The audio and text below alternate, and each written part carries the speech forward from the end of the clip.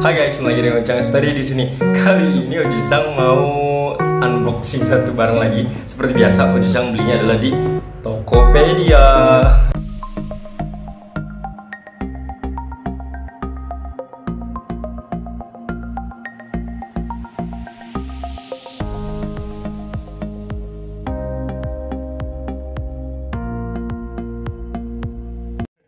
Jadi Ujang di waktu Indonesia belanja itu ya biasa sih iseng-iseng nyari-nyari barang kayak gitu. Ya mungkin ada barang yang cocok atau apa gitu.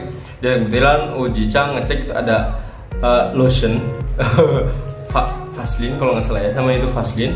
Nah, jadi Ujang cari aja iseng-iseng jadi Ujang cari. Dan harganya memang murah sih karena kenapa? Bisa harganya murah juga ada cashbacknya.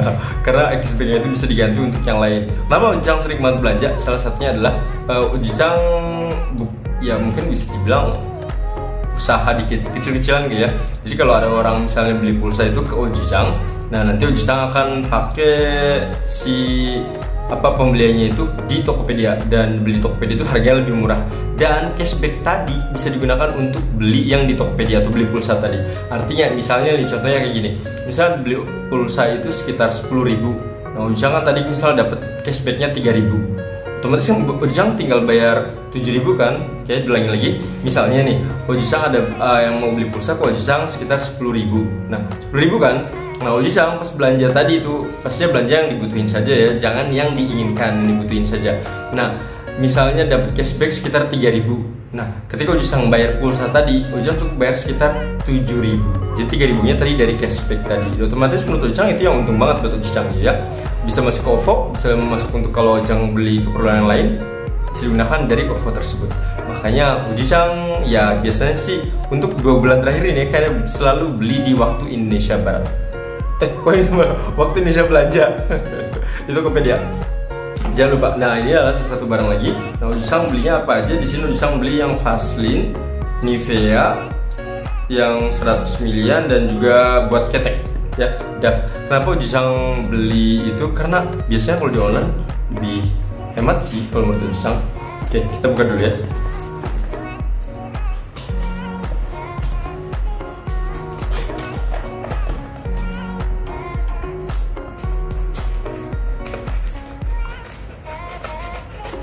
Seperti biasa untuk Tokopedia silahkan endorse aku ya. Karena sering banget kayaknya isinya di ini isinya Tokopedia mulu ya. Jadi kalau belanja apa apa di Tokopedia apalagi belum ini belum dihitung untuk yang pembelian masker. Ya jadi kebetulan Ojang juga sering beli masker di Tokopedia itu banyak banget. Cuma Ojang nggak pernah unboxing biasanya langsung dikirim ke rumah kakak di sana. Dan banyak banget ya untuk pembeliannya itu. Oke Ojang beli apa aja? Tuh cukup rapi ya. Tulisan cukup rapi untuk dalamnya. Ini tau nggak ini Ojang belinya di Tokopedia tapi dalamnya apa? Shopee. Ini bener-bener yang ini kalau nggak percaya bentar ya. Oh, Ojang keluarin dulu satu persatu. Ini ada DAF Via yang kecil. Ini biasanya Ojang udah pakai buat kayak penakan juga suruh pakai ini. Ini juga nah untuk yang ini sebenarnya Ojicang salah nih. Sebenarnya beli cuma satu cuma nggak tahu masuknya jadi dua. Oke bentar liatin ya.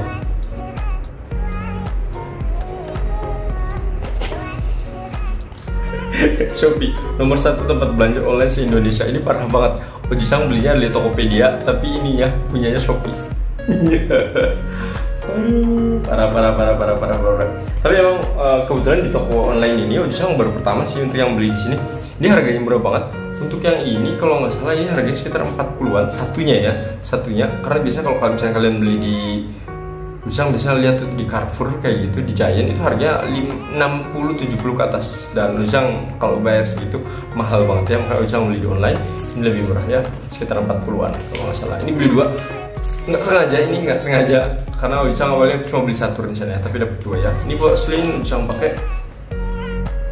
Karena nyaman aja sih mungkin Ujang nggak tahu semenjak pas di Jepang pulang dari Jepang itu yang udah lama sih ya. Cuma karena mungkin di Jepang itu uh, dulu sering pakai lotion. Kan di sana panas banget ya kalau misalnya Ujang nggak pakai itu gatel tangannya nggak tahu kenapa maka Ucang pakai. Nah ketika di Indonesia pun ya kurang lebih mungkin ke bawah kali ya. Jadi sini pun Ucang kalau untuk habis mandi atau apa bisa pakai ini. Soalnya biar ya mungkin karena kebayang waktu di Jepang tadi nggak tahu juga ya. Ya ini juga sama ini karena Ucang pengen nyoba aja sih kalau yang ini. Karena kan kecil ya jadi pengen nyoba aja kayak gimana gitu. Biasanya sih kalau Ucang ini biasanya pakai yang ini dulu kalau udah agak habis gitu muntah setengahnya yang ini dimasukin lagi. Karena ini nggak tahu enak kan ini tinggal di pump terus selanjutnya adalah yang ini untuk yang DAF untuk yang DAF Ojisang sebenarnya untuk beli yang kayak gini nggak ada patokan sih untuk merek apa merek apa. Karena sebelumnya pun pakai yang Rexona ini ya Rexona. Nggak um, ada masalah sebisa apa pun ini selalu untuk beli apa pun ya. Rexona yang pasti kalau habis mandi biasanya pakai ini. Kalau biasanya itu keluar rumah. Tapi kalau misalnya di dalam bisa bisa jarang pakai ini paling mungkin bedak doang. Karena kalau di rumah ini kan agak lengket sedikit ya kayak gitu. Jadi Ucang nggak begitu pakai yang ini Ucang pengen nyoba saja karena untuk DAF ini dulu sama ya ngomongin di Jepang lagi ya. Di DAF itu dulu Ucang beli kayak produk mandi kayak gitu DAF terus misalnya kayak apa namanya untuk sabun kayak gitu pakainya DAF cuci muka juga pakai DAF karena di sana harganya di DAF itu di Jepang harganya sekitar 500 yen. Ya mungkin cukup murah kali ya. Jadi makanya bisa membelinya DAF dan kebanyakan DAF kebetulan cocok juga di kulit ya oke paling itu saja informasi dari Cang terkait dengan beli di Tokopedia untuk barang-barang tadi lotion ini di WIB dan juga salah beli yang ini ya. Oke, semoga informasi bermanfaat. By the way, informasi lagi jika kalian mau belanja di Tokopedia, silahkan belanja di tanggal 25 25 sampai 31 kalau nggak salah ya.